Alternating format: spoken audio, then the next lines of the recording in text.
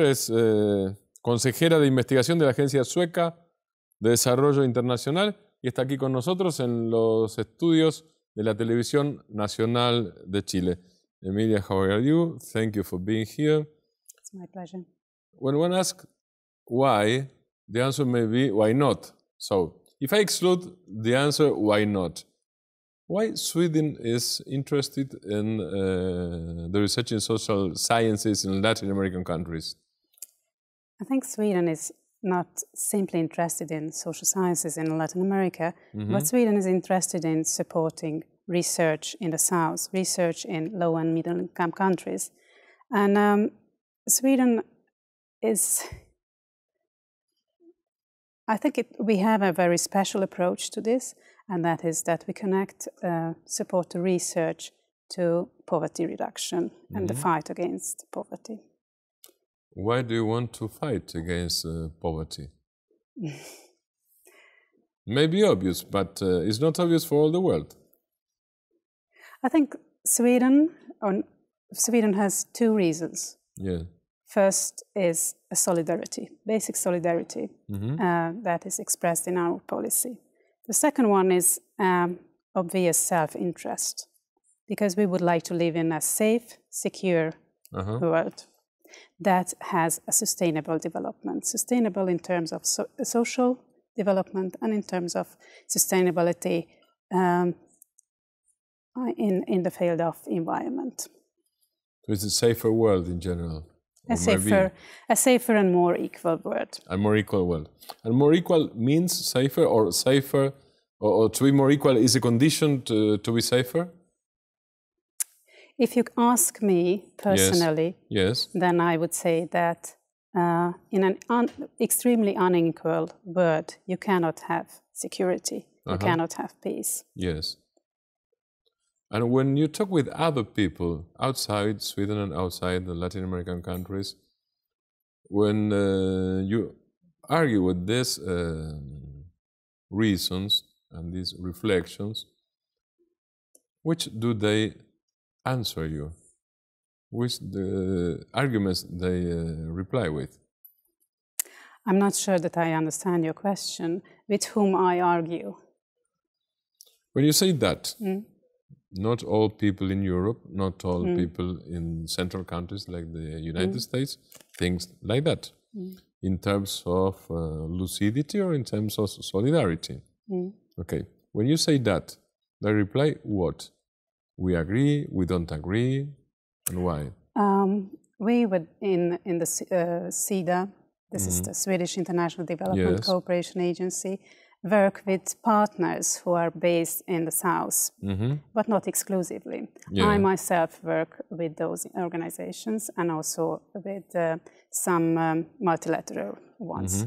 Um, so uh, we, in our cooperation, we we re- really try to support research, uh, research production, and we would like to.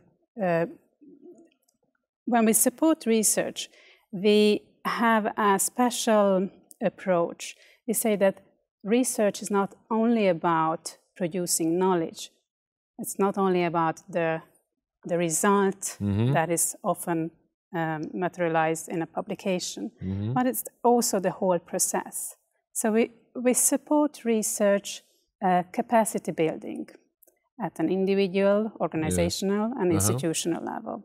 So uh, we provide support to PhD trainings. We provide support to universities Yes. to increase their capability to manage research. And we also have support to national gov- governments uh, when it comes to policy, policy making on research, uh, technology, innovation, and higher education. That is So- within the research cooperation. Another field of our um, cooperation is uh, knowledge production, research as such, Yes. uh, that is relevant to the fight against poverty. So these are the two main fields. We have a third field, although that is not handled by SIDA, and that third f- uh, field is um, Swedish research that is relevant to poverty reduction, that is relevant uh, for uh, middle and low income countries. Is it possible to reduce dramatically uh, poverty and uh, why is it so hard? I think uh, thousands of development practitioners have this question mm. every day. Uh, but what we see at a global level is that poverty has been reduced in the past decade. There is a significant development uh, in this field, and there is a, a, result that is partly due to uh, the work of development agencies, um, including SIDA. Um, is it possible? Yes, it is possible. Do we do the best way? That's an important question, and that mm -hmm. is mm-hmm. also an important question for the researchers. And your answer? Uh, whether we do yeah. the right way. I think there are fields where we do quite well, and there are others where we don't do uh, mm -hmm. as well as we should. And also, we don't know because we don't have enough knowledge on that. So, therefore, for example, we support uh, research on development and research on uh, how we, development agencies, uh, perform. Do we really do the right thing? So that's also an important mm-hmm. question. Mm -hmm. In the last General Assembly at the United Nations, Dilma Rousseff, the president of Brazil, said in uh, her message that extreme poverty, for the first time in history, in human history, was uh, possible to be eradicated. She said, she said, for the first time, we can do it. It's possible. What do you think about that? As a representative of a development agency, I agree with this statement. Mm -hmm. We have to have this objective. This is what we are. Have, this, this is what we have to have as a goal uh, for our work in the future. Why did you personally get involved in this in this task, in this mm. work, in this job? You see, I'm a sociologist. Mm -hmm. uh, that's my background.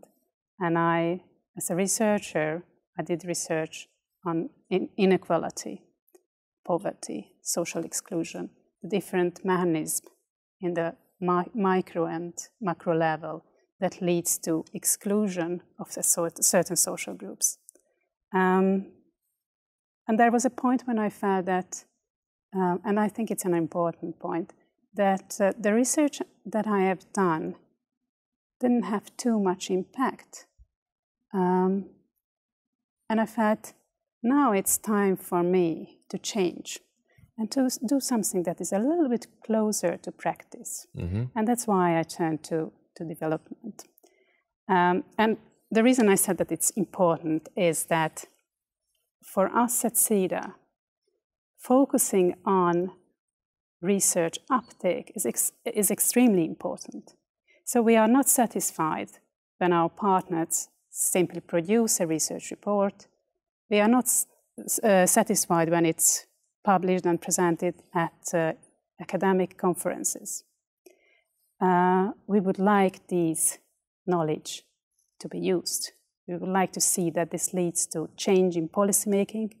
We would like to see that all the knowledge that rests on scientific research leads to a better world. Thank you, Emilia. My pleasure. And uh, thank you.